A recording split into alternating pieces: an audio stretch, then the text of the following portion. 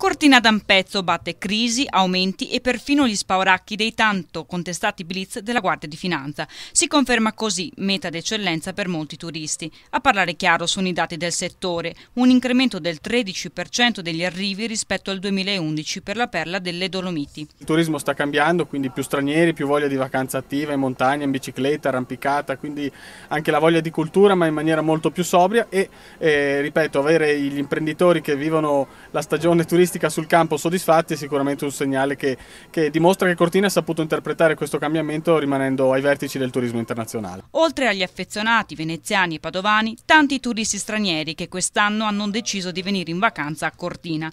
Un segnale incoraggiante per gli operatori del settore, in attesa dei dati definitivi di questa stagione.